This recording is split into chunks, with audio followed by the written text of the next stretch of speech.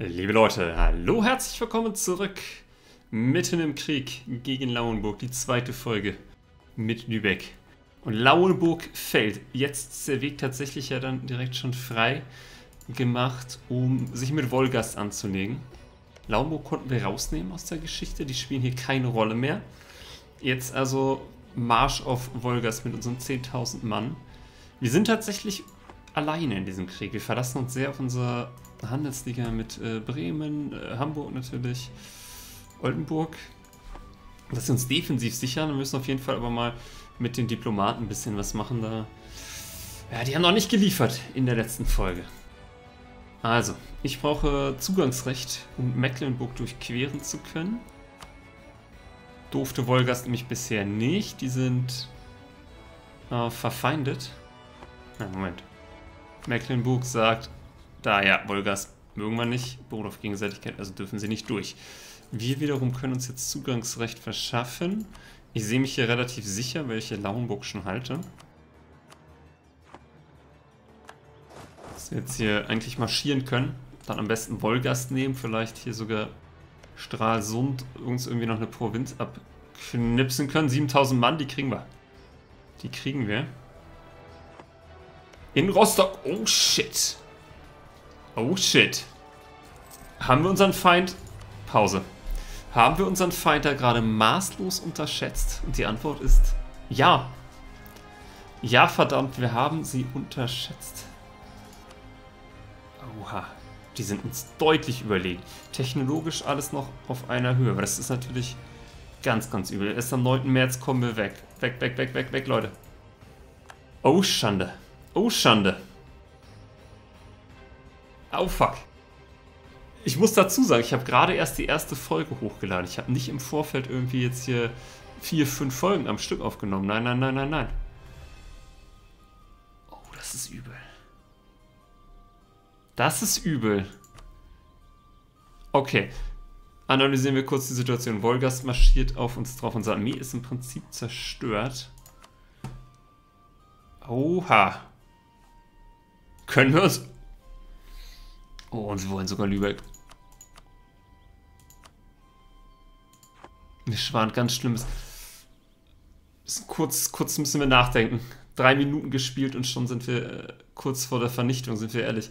Wir haben Wolgast maßlos unterschätzt. Ich dachte, okay, ich kann Lauenburg nehmen und bin dann mindestens gleichwertig gegenüber Wolgast. Jetzt haben sie unsere Armee aber komplett zerlegt. Lauenburg hat natürlich kein Interesse mehr jetzt äh, an einem Friedensvertrag. Also nicht mal, dass wir irgendwie hier sauber aus der Sache noch rauskommen. Nein, nein, nein. Die wollen richtig was von uns haben. Es kann nur noch schlimmer werden. Meine Armee hat keine Moral. Meine Armee ist hier gefesselt in Lübeck. Ich muss ihnen irgendwas anbieten. Andernfalls ist das Spiel vorbei, Leute. Ach du Scheiße. Ich muss mein Bündnis annullieren. Sie bleiben aber ja in der Liga, ne? Und ich muss ihnen Geld bieten. Befürchte ich fast.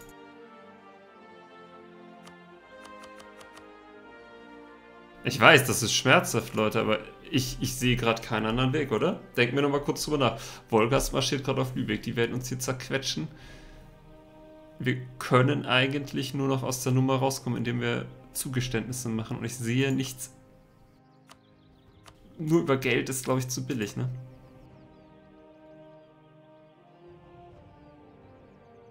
Über Geld zu lösen, ist ihnen zu...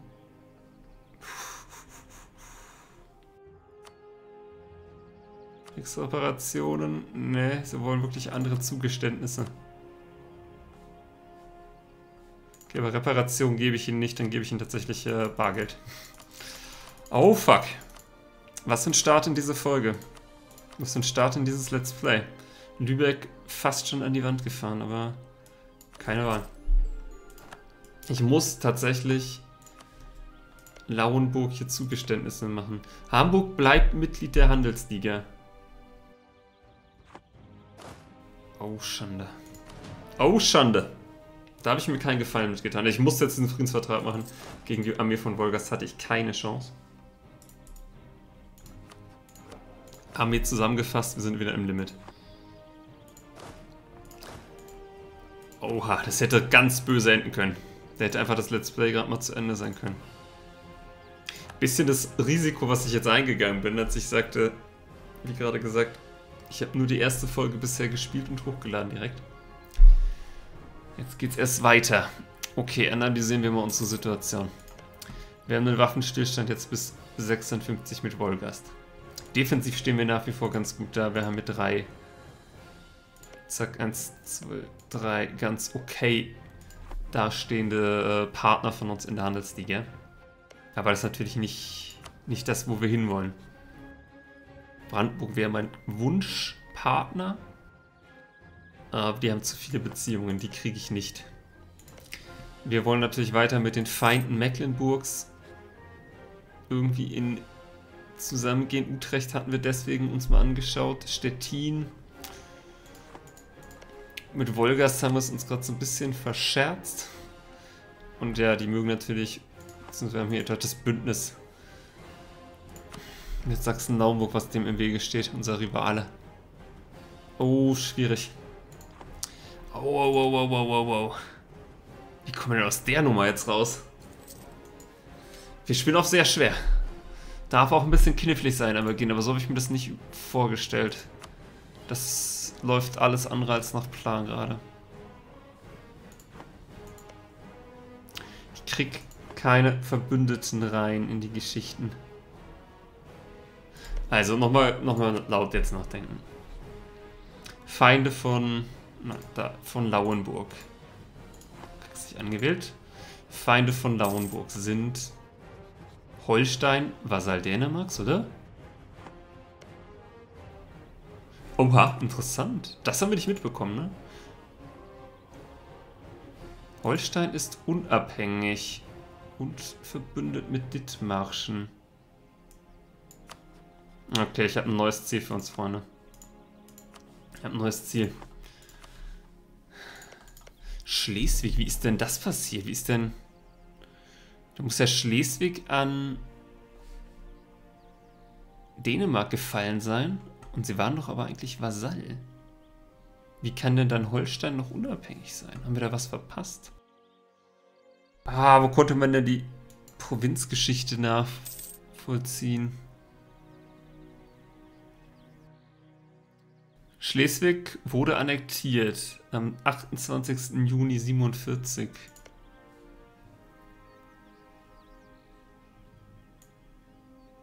Huh. Interessant. Oh, das war doch eine Nation. Nicht, dass ich jetzt hier ganz großen Quatsch gerade erzähle. Egal. Holstein, neues Ziel für uns. Verbündet mit Dithmarschen. Könnte knappen, wenn ich eine große Armee aufstelle, die erst Holstein und dann Dithmarschen knackt. Wieder sind wir in Unterzahl, ich weiß. Ich kriege aber keine Gefechte hin, wo ich wirklich mal auch einen Verbündeten reinnehmen kann. Hamburg kann ich gerade abschreiben. Erst 59 wieder. Dürfen wir sie alliieren? Ich sehe es nicht so richtig ein, unsere Partner hier in der Allianz zu nehmen. Aber wir brauchen Partner, das ist uns natürlich absolut klar und bewusst. Hier wäre jetzt aber tatsächlich ein Weg über Holstein, Dithmarschen. Könnte man ein bisschen Land nehmen und sich dann bereit machen für einen Krieg. Einen zweiten gegen Lauenburg, gegen Mecklenburg. Aber ohne Partner geht's nicht. Wir sind dran bei Österreich am Hofe. Keine Chance. Wir sind natürlich viel zu klein. Das sind so die Mächte hier natürlich in der, unserer Region. Österreich, Böhmen, Brandenburg, Polen. Der Deutsche Orden? Fragezeichen. Ja, auch nicht gut. Schweden. Unter der Fuchtel der Dänen, die Engländer, ist alles zu weit weg, nicht realistisch für uns. Wir sind zu klein, wir müssen wirklich immer, wir müssen ganz kleine Brötchen backen, gerade nachdem wir der Vernichtung hier von der gerade noch so entkommen sind. Ich verlasse mich gerade voll auf meine Handelsliga. Aber macht es auch so Sinn, jetzt irgendwie mit so einem Sachsen oder so zusammenzugehen? Das ist tatsächlich sogar fast außer Reichweite für uns. Und die Renaissance, die alles ändert, ist da. Gucken kurz, wo sie gespawnt ist. Ein Monferrato. Sehr gut. Ähm, Renaissance wird kein Thema für uns sein.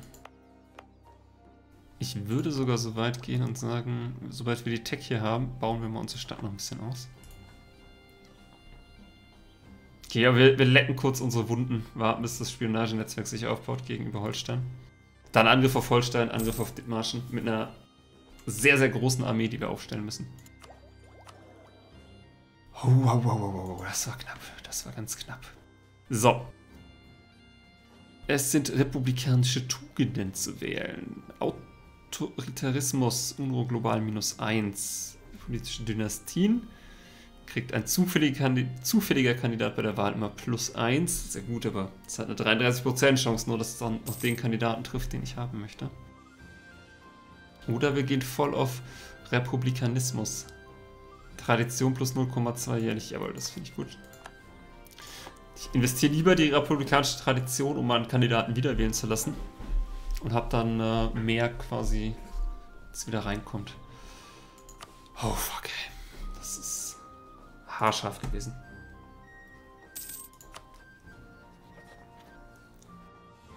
Völlig unterschätzt. Aber ganz ehrlich, da merkt man vielleicht auch, dass ich ein bisschen länger nicht gespielt habe, mich hier einfach mal mit Wolgast anzulegen, die fünf Provinzen haben. Klar, alle nicht so die Wahnsinnsprovinzen. So viel Entwicklung ist das alles nicht. 10, 17, 23, 28. Naja, aber immer noch 28 zu 17. Ne? Wenn wir dann nur eine Stadt haben, dann ist schon riskant gewesen, die Nummer. Okay, wir gehen mal weiter.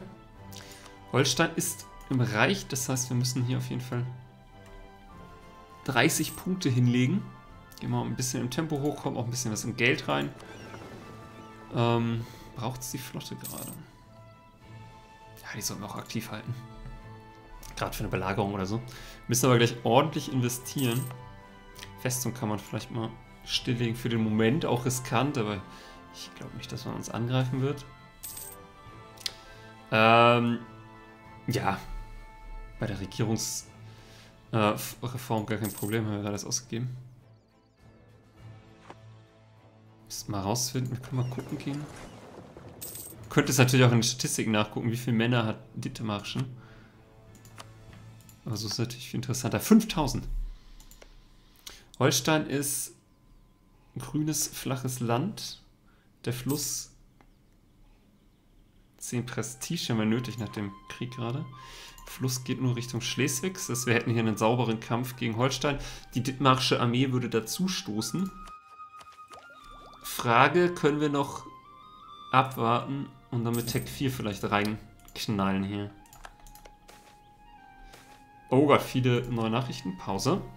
Aufstände in den Bergen. Olaf Nilsson Skanke berühmter Befehlshaber der Festung Bergenhus und Todfeind der Hanse in Norwegen, ist von lokalen Kaufleuten getötet worden. Trotz seiner vielen Dienste für die Krone war Olaf auch ein Pirat, der im gesamten Nordseegebiet Schiffe der Hanse jagt. Um diese Bedrohung ihrer Interessen auszuschalten, haben die deutschen Kaufleute einen Aufstand angestiftet und Olaf in einer lokalen Abtei eingekesselt, die sie daraufhin niederbrannten. Konsequent. Oder verlag seinem Schicksal in den Flammen zusammen mit Mönchen, lokalen Bürgern und dem Bischof von Bergen.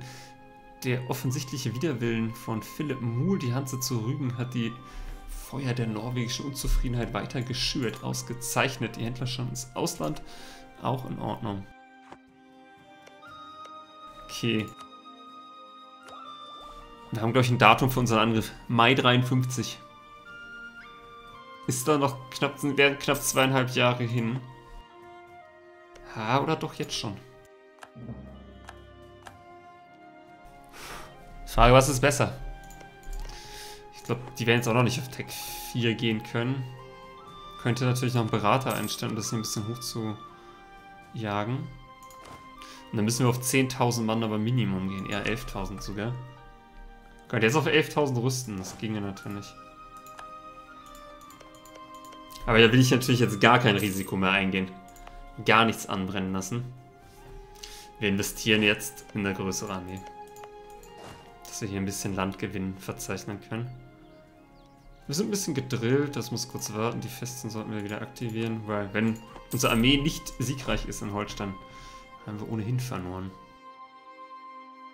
Setzen voll auf Infanterie. Jetzt haben wir 12.000 Mann. Bleiben beide bei Tech.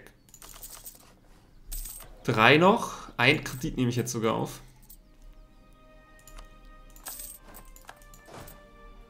Mutmaßlich werde ich noch einen weiteren Kredit aufnehmen müssen. Das habe ich gesagt, ich will auf 12 sogar, ne? Wir nehmen jetzt richtig Geld mal in die Hand. Um uns hier aus dieser Festung zu befreien, in die wir geraten sind. So.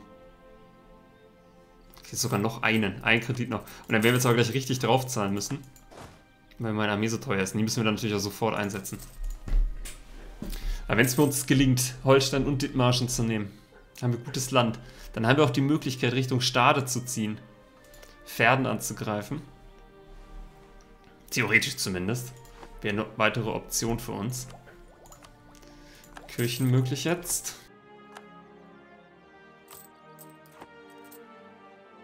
Schnell die Armee hochrüsten, angreifen. Hoffen, dass sie nicht auf Tech 4 gehen. Ach, Dithmarschen ist Tech 4. Oh, ähm, bam, bam, bam.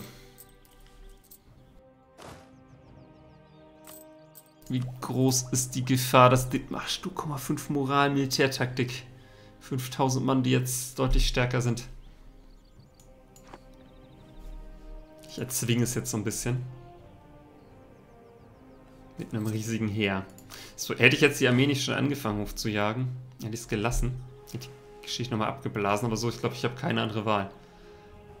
Solange Holstein noch auf Tag 3 bleibt, ist in Ordnung. Alle noch Tag 3, ausgerechnet Dithmarschen. Die Republik hier an der Nordsee. Sind so fortschrittlich. Noch 2000 Mann kommen oben drauf. Wir haben auch Kavallerie dabei, die haben keine. 12.000 zu 9.000 mit besserer Moral und Militärtaktik auf Dithmarscher Seite. Ich sehe keinen Anführer, aber die können natürlich sofort einen ausheben dann. Legt man nochmal 1000 Mann drauf? Fragezeichen? Ja. Wenn wir diesen Krieg gewinnen, dann spielt das Geld keine so große Rolle mehr für uns. Da hätte ich jetzt vielleicht sogar eher einen Söldner anheuern sollen. Ich mach's gerade ein bisschen mit der Brechstange. Ist vielleicht auch nicht die klügste Idee gerade. Aber oft so, ne? Man, man verliert so eine Schlacht hier in Lauenburg und dann will man sich jetzt aber auch gleich irgendwie rehabilitieren.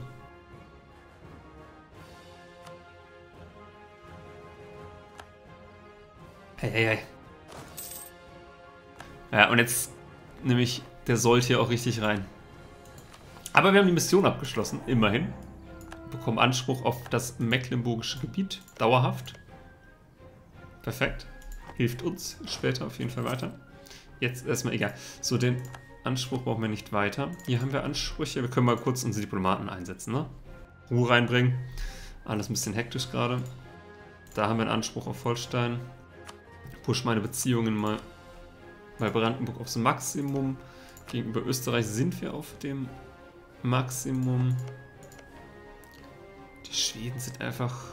Kann man, ja, bei Gelegenheit mal hochtreiben. Mit den Holländern na, die sind ja Vasall der Burgunder. Such noch einen Verbündeten irgendwie in, unser, in unserer Preisklasse hier. So, jetzt sind wir gleich bei 13.000 Mann. Gottes Willen. Oh, ich bin sogar auf 14 gegangen. Ey, wir sind so verschuldet, jetzt ist es auch schon relativ egal. Aber es ist eine Investition in die Zukunft Lübecks, in die Zukunft der Hanse. Bisschen unorthodox, muss ich zugeben, wie ich hier spiele gerade. Also sich jetzt Lübeck im Jahr 1452 dermaßen zu verschulden, nachdem man fast gegen Lauenburg einen Krieg verloren hat, schwierig. Aber jetzt kommt das Comeback. Äh, der Sommerkrieg im Jahre 1452. Ähm, genau, 9000 Mann bringen sie zusammen mit. Wir haben keine andere Wahl, als diesen Krieg zu nehmen und ihn zu gewinnen. Wenn wir ihn verlieren, ist das Spiel an dieser Stelle vorbei. für Lübeck. Sehr gut. Dithmarschen reagiert nicht. Dithmarschen hat nicht reagiert auf unsere Attacke. Wir können nachsetzen, wir können auf die Dithmarscher Armee marschieren.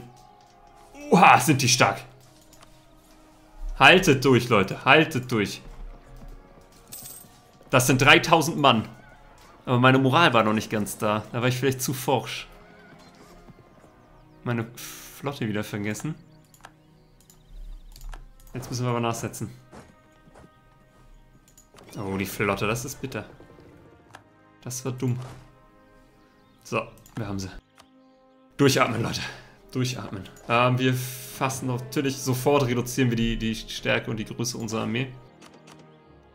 Ähm, 10.000 Mann, ja, müssen reichen. Auf heimatliches Territorium zurückziehen. Zack, 1000 Mann in Dithmarschen stationieren, damit sie da keine Truppen ausheben können und wir holen uns erstmal Holstein. Und die lösen wir hier direkt auf, um Geld zu sparen. Bringt uns auf... Wir sind immer bei 10.000, eigentlich immer noch zu viel, ne? Ja, ich die Macht nicht hergeben. Ja, ich muss durch meine Armee lieber weiter reduzieren. Die kosten mich einfach sonst ein Vermögen. Ich habe genügend Männer, um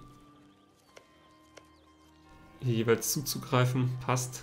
Benediktus der 13. ist unser neuer Papst. Lang möge er leben. Ist ein ganz, ganz teurer Krieg. Ein dummer Krieg.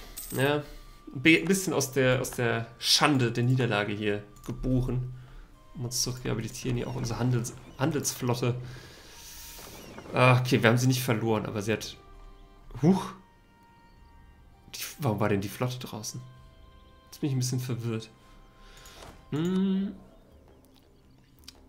Wir setzen jetzt mal auf einen militärischen Kandidaten. Nämlich Gregor Billing.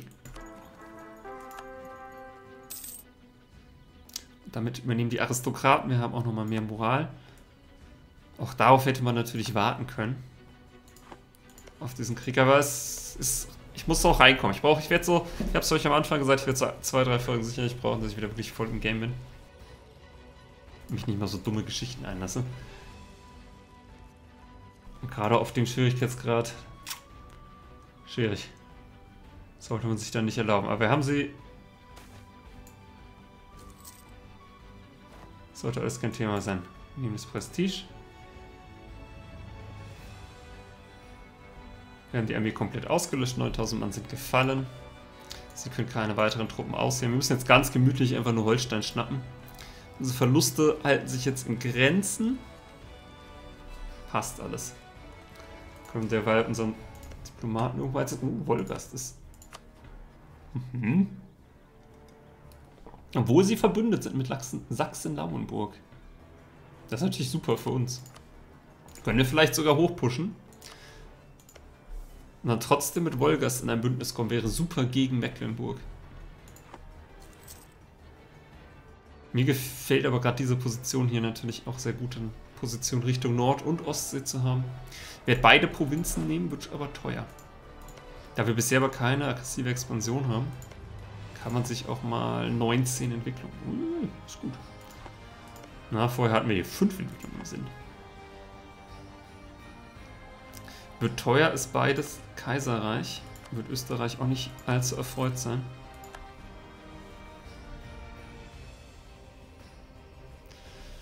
Oh, wer? Okay. Das wird ein bisschen dauern hier. Denn Schiffe haben sie noch. Nur leichte Schiffe. Oh, okay, aber auch Transportschiffe. Und ich habe dem nur drei Galeeren entgegenzusetzen, da machen wir nichts. Solange wir hier belagern und hier kann ja nichts anbrennen, gucken wir uns mal ein bisschen um gerade. Was ist so in den ersten knapp zehn Jahren geschehen? Die Osmanen haben Konstantinopel bereits genommen. Allerdings Korinth und Moria verschont. Interessant. Gucken wir uns noch Dithmarschen. Äh, Aragon haben wir mitbekommen, nicht mehr her über Neapel. Kastilien mit Portugal alliiert. Standard. Frankreich mit, nur mit der Provence alliiert. Die großen Mächte bleiben so ein bisschen für sich. Die Österreicher zusammen mit Ungarn. Venedig drücke ich ja immer so ein bisschen die Daumen, aber sie schaffen es nie, in vernünftige Bündnisse reinzugehen. Johanniter und Luca, die Neapolitaner mit dem Kirchenstaat, auch starke Allianz hier in Italien, Milano mit Burgund. Oh, Burgund finde ich auch immer sehr, sehr spannend. Das ist immer so eine Wildcard. Verbündet mit Tomot? Meiner, das klingt schon wieder so irisch. Da mischen sich denn die Iren hier überall ein. Böhmen, Brandenburg ist natürlich ein gutes Duo. Polen hat die Herrschaft über Litauen errungen. Moskau wächst und gedeiht. Die machen richtig Druck. Eine Menge Vasallen bereits. Moskau für mich aber auch immer so ein bisschen Wildcard. Weil es am Ende natürlich darauf ankommt, ob sie auch vernünftigen Verbündeten haben. Könnten dann immer am Politauen auch scheitern. So, jetzt für uns Tech 4.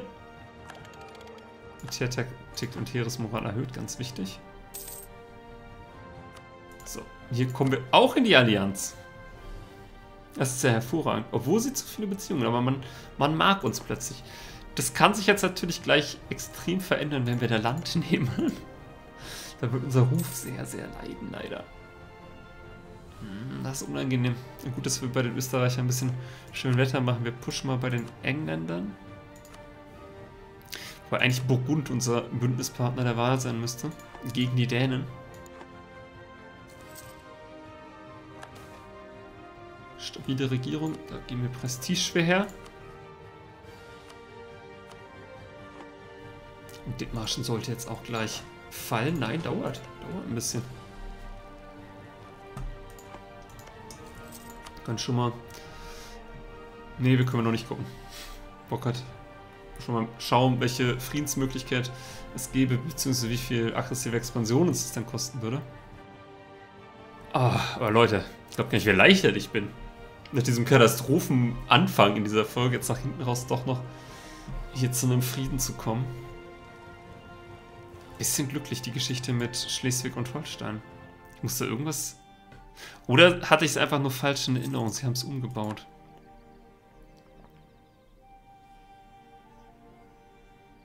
Am 12. November 44 wurde annektiert von Holstein. Staaten, ich muss, ich muss tatsächlich nochmal reingucken, wie, wie das hier losging. Ist da nur Schleswig Vasall gewesen?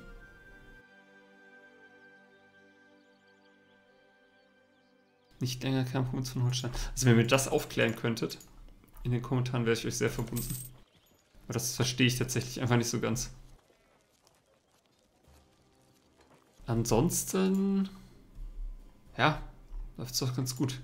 Ich bin übrigens auch immer großer Fan der Mamelucken und drücke den, glaube ich, seit jeher die Daumen, dass sie sich einmal durchsetzen werden gegen die Osmanen. Ich habe es noch nie erlebt. Sehr gespannt, was diese Welt mit sich bringt. Aber da wir auch mit äh, historisch starken Nationen quasi spielen, oder Nationen im Glück auf historisch so. Ähm, da gehören ja auch die Osmanen dazu. Und ich glaube, die Mamelucken nicht. Was äh, passiert hier? Angreifer gegen die Livonischen Orden. Eroberung von Ösel. Läuft doch nicht so gut, oder?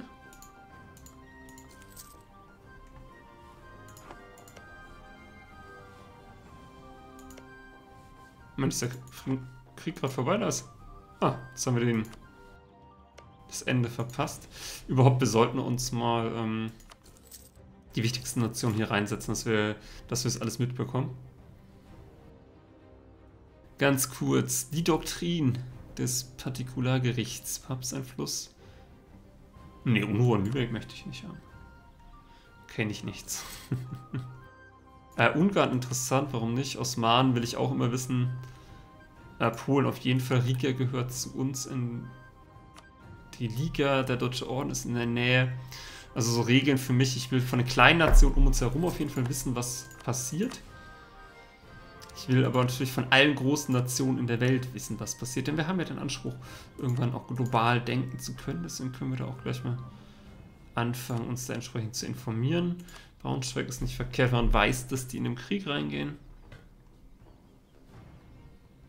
Dithmarschen gibt es gleich nicht mehr. Ja, Kastilien, Aragon, Portugal. Alles nicht uninteressant. Passt soweit ich die Österreicher hier mit bei? Da. Venedig kann aber raus. Das interessiert mich nicht so sehr. Sachsen-Naumburg. Ja, wobei ich drin lassen können. Ragusa, nur weil sie auch so eine Kaufmannsrepublik sind. Genua kann auch weg. Sehe ich nicht als Konkurrenz. So, Leute, lasst uns äh, an den Verhandlungstisch gehen. Ich hoffe sehr, dass dass dieser gute Wille hier Brandenburgs und von Wolgasts ähm, weiter freundlich bleibt. Deshalb schicke ich gleich mal beide Diplomaten nach Hause. Ähm, für Friedensverhandlungen. Also, ich würde tatsächlich einen Separatfrieden machen mit Dithmarschen. Jetzt die Frage, will ich beides annektieren? Wir machen es mal aus Sicht von Holstein. Das führt zu 42 aggressive Expansion im Maximum. Das ist okay, das ist schon eine Menge, aber es ist okay. Das heißt, wir können es uns leisten, beide einfach zu annektieren. Alternative, äh, ein Vasall vielleicht, aber da wir eh nur drei diplomatische Beziehungen haben. Und wenn ich einen Vasallen aufbaue, dann würde ich ihn auch eher ein bisschen füttern wollen. Deswegen separat für mit Dithmarsch, einfach weil wir dann hier auch das Geld nehmen können. Die volle Annexion. Moment mal. Ist das mehr aggressive Expansion, wenn ich sie separat eigentlich nehme? Egal. Wird schon, wird schon passen. Ähm, wir annektieren Dithmarschen. Und wir annektieren Holstein. Jetzt fressen wir natürlich uns relativ satt hier.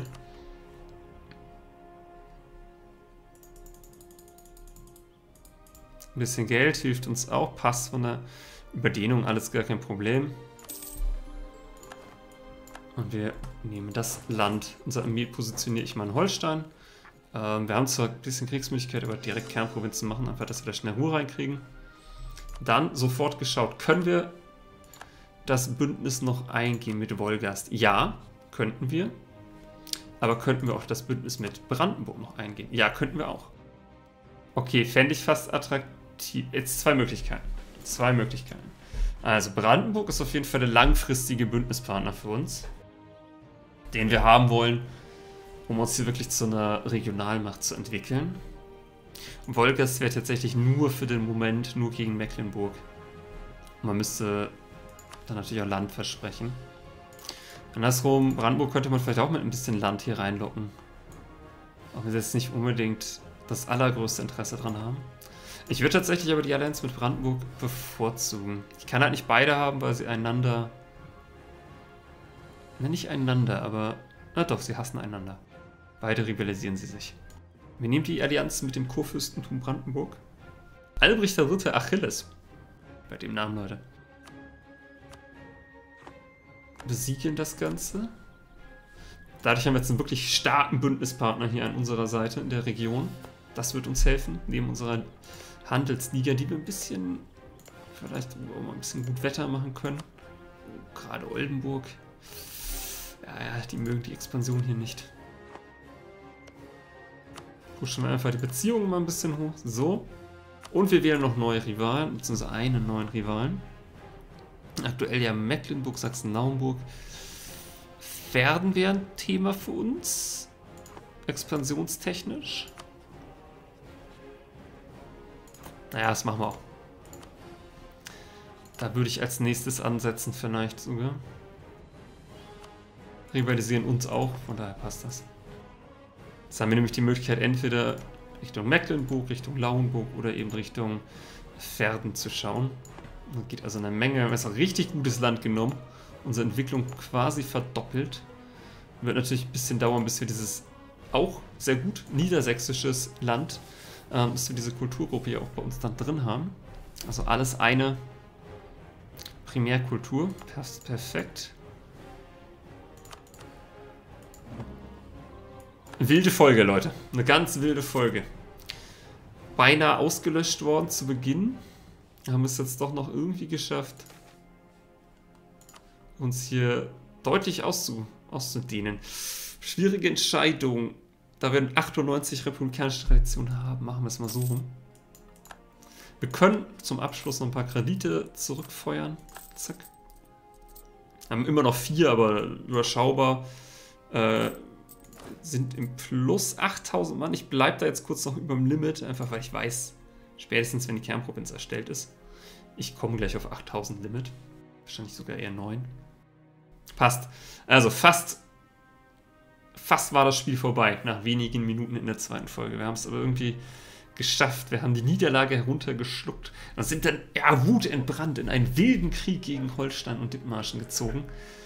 Der war ein bisschen, ah, ja, den kann man auch anders fühlen. Den kann man eleganter machen. Gebe ich zu. Gebe ich auf jeden Fall zu. Aber Wir haben ihn gewonnen. Das ist das Allerwichtigste. Wir sind auf jeden Fall jetzt auf der Karte. Da geht was. In der nächsten Folge. Macht's gut. Bis dahin.